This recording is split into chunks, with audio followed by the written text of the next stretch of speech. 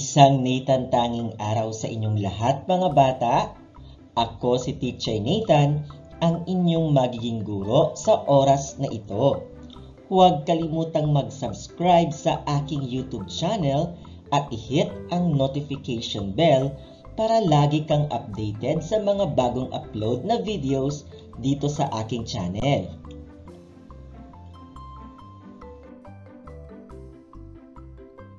Tayo ay nasa ikalawang markahan ika-anim na linggo na dito sa MTB MLE3. Ang ating gagamiting module ay mula sa DepEd Region 4A Calabarzon, ang Pivot 4A Learners Material. Ang ating pag-aaralan ngayong linggo ay tungkol sa pagtukoy sa tayutay na metapora. At ang ating magiging layunin, natutukoy ang kahulugan ng metapora at ang mga halimbawa nito.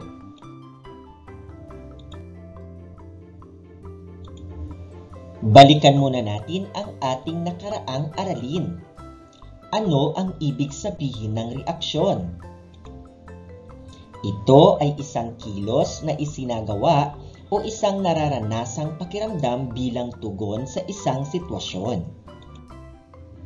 Ang pagbibigay ng reaksyon ay isang madamdamin at pangkaisipang pagpapahayag ayon sa isang issue o usapin. Ito ay naaayon sa iyong personal na isipan, damdamin at karanasan.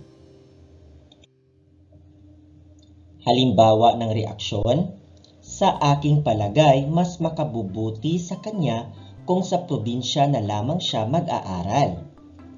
Nalulungkot ako sa nangyayari sa ating bansa dulot ng pandemya. Maraming nawala ng trabaho at walang pasok sa paaralan. Sa linggong ito, sisimulan mo ang pag-aaral tungkol sa tayutay. Ito ay ang paggamit ng mga salitang may kakaiba o malalim na kahulugan. Handa ka na bang makinig? Kung oo, kunin na ang iyong lapis o ballpen, kwaderno at ang iyong self-learning module. Ano nga ba ang tayutay?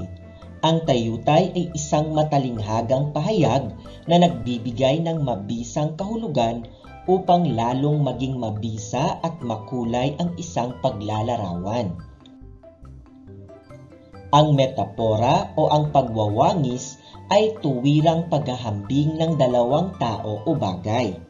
Ito ay anyo ng pananalita na ang tao o bagay ay inihahambing o iwinawangis sa ibang bagay na hindi ginagamitan ng sing tulad ng o sim at sin.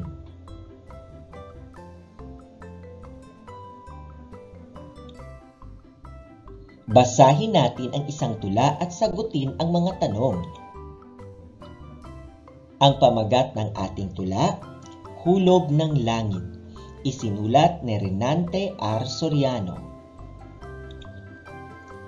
Uwa, uwa ang iyak ng munting sanggol nang siya ay isilang ng kanyang inang mahal. Siya ay anghel sa bago niyang pamilya. Oo siya nga, batang kay lusog at kay sigla. Ang balat niya ay isang bulak na sa kaputian ay napapansin. Ngiti niya ay gamot sa nalulungkot na damdamin. Munting tawa niya ay pag-asa sa bawat miyembro ng pamilya. Siya ay hulog ng langit, handog sa mga magulang niya kay saya. Sino ang tinutukoy sa tula na hulog ng langit? A. Ang bata B. Ang munting anghel C. Ang munting sanggol Ang tamang sagot ay letrang C. Ang munting sanggol Sa anong uri ng nilalang iwinangis ang sanggol? A. Manggagamot B. Anghel C. Bulaklak Ang tamang sagot ay letrang B. Anghel. Saan itinulad ang kanyang kulay? A. Sa bulak B. Sa gatas C. Sa rosas Ang tamang sagot ay letrang A. Bulak. Ano ang tinutukoy na pag-asa sa tula? A. Mata B. Mukha C. Tawa Ang tamang sagot ay letrang C, ang tawa. Ikalimang bilang, paano inilarawan ang munting sanggol? A. Isang regalo B. Isang anghel C. Isang damdamin Ang tamang sagot ay letrang A. Isang regalo. Basahin natin ang mga pangungusap mula sa tula. Ang mga salitang may salungguhit ay mga halimbawa ng metapora. Siya ay anghel sa bago niyang pamilya. Ang balat niya ay isang bulak. Ngiti niya ay gamot. Munting tawa niya ay pag-asa. Siya ay hulog ng langit. Ang metapora ay pagwawangis na ginagawa sa tao o bagay sa anumang bagay, hayop at iba pa. Mapapansin na ang bata o siya sa bilang isa ay itinulad sa anghel. Ang salitang ngiti naman sa bilang tatlo ay naging katumbas ng o kawangis ng gamot. Maaari lamang gawin ang pagwawangis kung may kaugnayan ang dalawang salita at ang nais ipakahulugan. Kaya, inihalintulad ang ngiti sa gamot sapagkat pareho silang nakagagamot. Ang una ay sa lungkot, ang ikalawa naman ay sa sakit. Tukuyin natin ang metapora sa bawat pangungusap. Halimbawa, si Pedro ay malakas na bagyo. Ang metapora ay malakas na bagyo.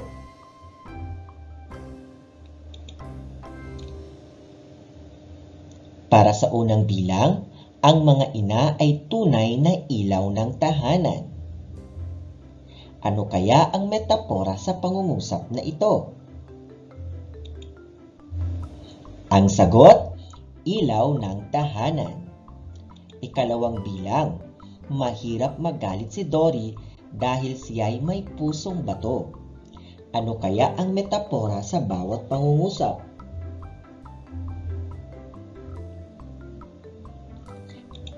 Ang tamang sagot ay pusong bato.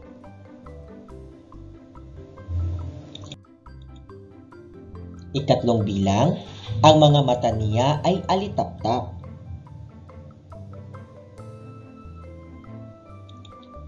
Ang tamang sagot ay alitaptap. Ikaapat na bilang, si Franz ay bulaklak sa bango. Ano kaya ang metapora sa ikaapat na pangungusap? Ang tamang sagot ay bulaklak.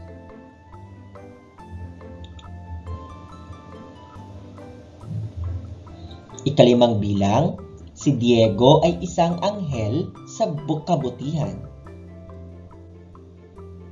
Ang tamang sagot ay isang anghel.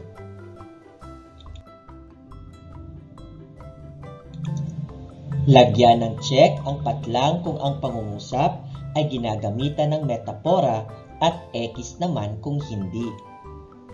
Para sa unang bilang, si Ella ay isang magandang bulaklak. Ginagamitan ba ito ng metapora o hindi? Ikalawang bilang, si Jeff ay hulog ng langit. Ikatlong bilang, nagdidilig ng halaman ang aking bunsong kapatid. Ikaapat, ang kamay ng panauhin ay yelo sa lamig dahil siya ay kinakabahan. Ating iwasto kung tama ang inyong naging sagot. Para sa unang bilang, check. Ginamitan ito ng metapora, hinahilin tulad o ibinangi si Ella sa isang bulaklak. Ikalawang bilang, check, dahil si Jeff ay hulog ng langit. Ikatlo ay X, dahil hindi ito ginagamitan o ginamitan ng metapora.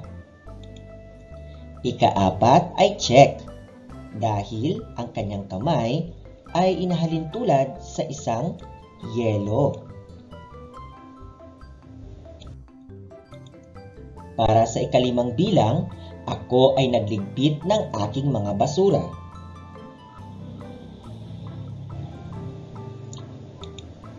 Ika-anim, ang bahay ni Ronito ay isang malaking palasyo. Ating iwasto kung tama ang inyong naging sagot. Sa ikalimang bilang, ito ay X. Hindi ginamitan ng metapora o tayutay ang ikalimang pangungusap. Samantala, ang ika-anim ay check dahil iwinangis ang bahay ni Ronito sa isang malaking palasyo. Ngayon naman, iguhit sapat lang ang between kung ang pangungusap ay gumagamit ng metapora at lagyan naman ng X kung hindi. Para sa unang bilang, nagiging mabangis na toro ang karagatan tuwing bumabagyo. Tama, ito ay may metapora dahil ginamitan o naging mabangis na toro ang karagatan. Ikalawang bilang, singgaan ng balahibo ang papel. Ito ay between dahil iwinangis ang isang papel sa isang balahibo. Ikatlong bilang, may pambihirang panlasa sa kasuotan ang mga art ang mag-artista. Ito ay X. Ikaapat, ang lolo ko ay leon sa katapangan.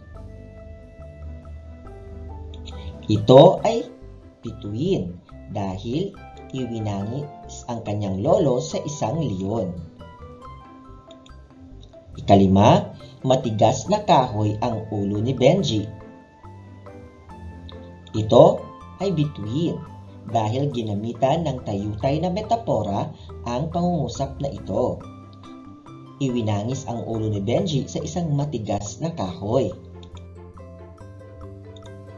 Ngayon naman, punan ng angkop na metapora ang pahayag upang mabuo ang bawat pangungusap. Piliin sa loob ng kahon ang tamang sagot.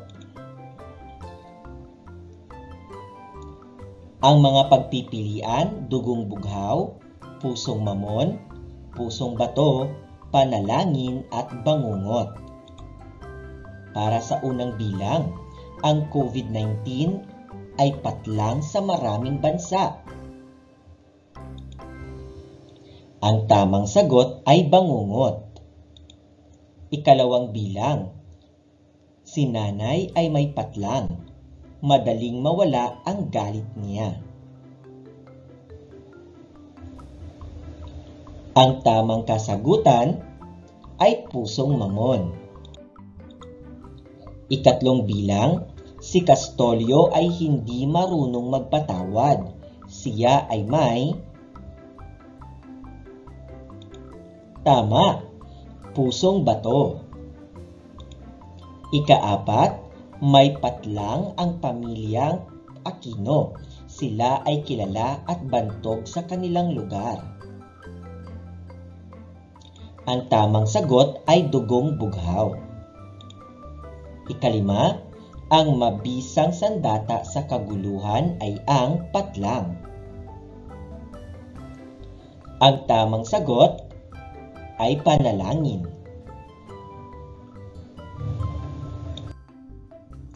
Laging isa-isip mga bata na ang metapora ay pagwawangis na ginagawa sa tao o bagay sa anumang bagay, hayop at iba pa. Kung maghahambing ka ng tao ay dapat gumamit ka ng magagandang ekspresyon o pananalita upang hindi makasakit sa kapwa. Para sa inyong takdang gawain, sumulat ng limang pangungusap na ginagamitan ng metapora. At dito nagtatapos ang ating aralin ngayong araw. Maraming salamat sa iyong pakikinig mga bata. Ako muli, si Teacher Nathan. Hanggang sa susunod nating pagkikita, paalam! Thank you.